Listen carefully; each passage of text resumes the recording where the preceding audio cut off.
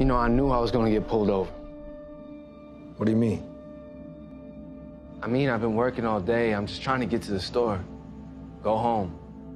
But I'm a black man. I'm wearing a hoodie.